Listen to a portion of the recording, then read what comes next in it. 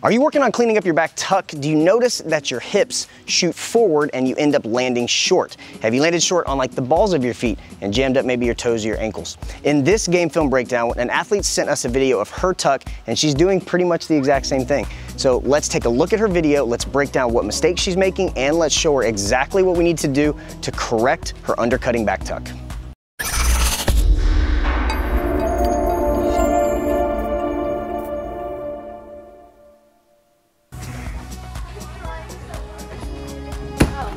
So as we can see, when she's doing her back tuck on the tumble track, she is landing, which number one, great thing. We always wanna make sure that we're landing safely. But we can see that as she's doing it, her hips are shooting forward and she's almost doing kind of like a gainer.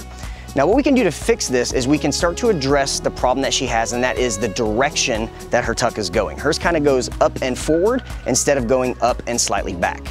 For this, we're gonna do three exercises that can help to address this. The first one is going to be a tuck jump up to a mat. For this exercise, we'd have you take a folded panel mat and put it directly behind you.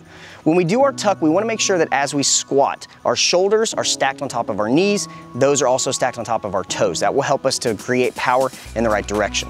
From here, we would squat down, jump up, and then land on the mat directly behind us. Now with this, be safe. Don't get mats that are too tall that you end up tripping over. But what you should work on is increasing the height of how many mats that you can jump back onto by getting into the proper tuck position to start off, jumping up and landing on the mats, that ensures us that we're creating power efficiently and we're generating power in the right direction.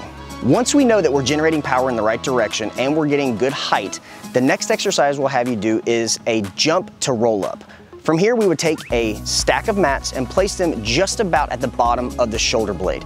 From here, we'd have our athlete squat down and jump up onto the panel mats. Now the goal here is to not push the mats backwards. We want to get up and on top of the mats. Once we reach the top of the mat, our athlete will aggressively drive the knees up towards the chest, pulling the hips to rotate over themselves. Remember, any tuck that we do, the rotation is not through the legs, it's the hips. We can move our legs all we want, but if the hips are not rotating, the, the tuck will never happen. So for this, we'd have our athlete again stand in front of our mats, aggressive jump up, really aggressive knee and hip drive over until we land in the tuck position.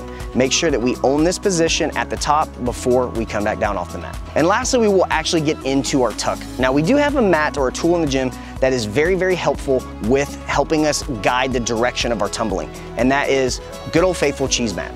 For this exercise, we would have our athlete start to work on her tuck on the cheese mat.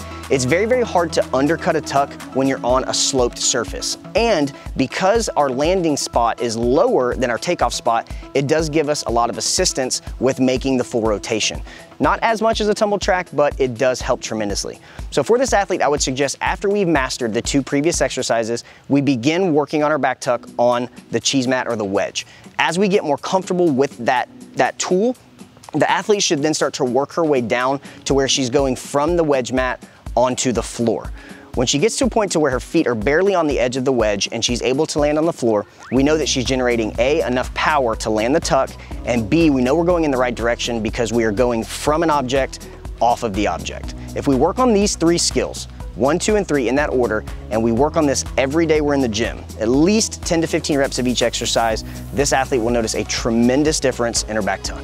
Thank you so much for joining me for this video. If you found this information helpful or beneficial, give me a thumbs up and leave your comments below. I'd love to hear if you are also working on these skills. If you would like more videos like this, click on the link above. And if you haven't already, stop being silly, subscribe to the channel right here, click the bell for notifications so that you stay up to date with our latest videos.